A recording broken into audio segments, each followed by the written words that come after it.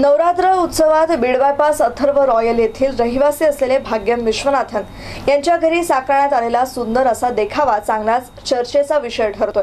त्यात प्रामुख्याने त्यांनी विविध देशातून विविध राज्यातून आणि वेगवेगळ्या ठिकाणाहून आणलेल्या दुर्मिळ वस्तूंची मांडणी सुद्धा या देखाव्यात केली आहे. बीड बायपास येथील अथर्व रॉयल या ठिकाणी राहणाऱ्या भाग्यम विश्वनाथ यांच्या घरी नवरात्र उत्सवानिमित्त भव्य दुर्गा पूजा करण्यात आली होती.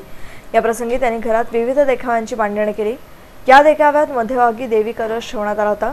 दोन तोंडाचा गणपती वैकुंठधाम दशावतार अष्टलक्ष्मी कुबेर रक्तगंध दाक्षिणात्य पद्धतीनं लग्नविधी पंगत दुर्गालक्ष्मी सरस्वती हातानं तयार केलेली दांडिया रांगोळी राजस्थानी देखावा कार्तिक स्वामींचा मठ खेडेगावचा देखावा इत्यादी प्रकारचे देखावे इथे साकारण्यात आले विशेष म्हणजे या देखाव्यात विविध देशातून विविध राज्यातून आणि वेगवेगळ्या ठिकाणाहून आणलेल्या दुर्मिळ वस्तूंची मांडणी करण्यात आल्याचंही पाहायला मिळालं.